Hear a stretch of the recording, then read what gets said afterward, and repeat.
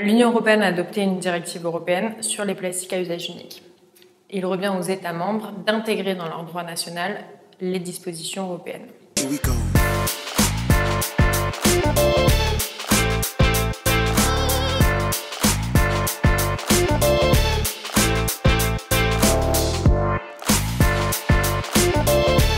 La France a choisi d'adopter une loi pour euh, transposer la directive européenne. Cette loi, c'est la loi anti-gaspillage et économie circulaire qui a été adoptée en février 2020. Dans cette loi, elle intègre toutes les mesures de la directive européenne, voire elle va plus loin en proposant euh, la suppression de tous les emballages plastiques à usage unique en 2040. Elle prévoit aussi une réduction de 50% des bouteilles en plastique et euh, des mesures pour lutter contre les microplastiques, donc ce, que, euh, ce qui n'est pas encore le cas au niveau européen. Starfire du coup veille à suivre en fait, l'évolution de, cette loi au niveau français, notamment euh, en faisant des coalitions avec d'autres ONG, aller voir euh, les parlementaires, aller voir euh, le ministère de l'Environnement, les appeler en fait à intégrer euh, des mesures plus ambitieuses dans la loi ou simplement à veiller à ce que les dispositions européennes soient effectivement présentes dans la loi française.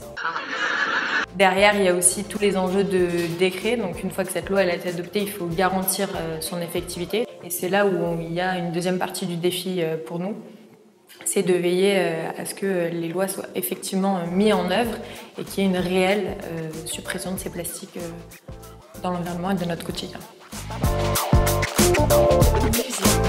Suivre l'actualité, donc être toujours au courant de ce qui se passe au niveau politique et législatif. C'est rédiger des plaidoyers et des argumentaires pour soutenir en fait nos positionnements et expliquer pourquoi on a ce positionnement-là d'avoir des arguments scientifiques, économiques et euh, sociaux. C'est euh, ensuite aller rencontrer euh, les parlementaires, donc des députés, des sénateurs, des membres du ministère de l'Environnement, pour pouvoir expliquer nos positionnements et leur demander de, de soutenir ou d'intégrer des propositions dans le projet de loi.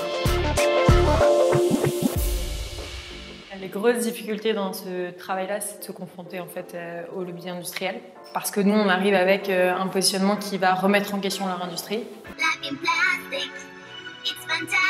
Donc on doit aussi euh, réellement apporter la preuve qu'une société plus environnementale, notre modèle en fait est possible. Et donc c'est là où on a besoin à la fois du soutien des citoyens, mais également des entreprises qui produisent des alternatives qui sont déjà dans, ce, dans le changement. Quoi.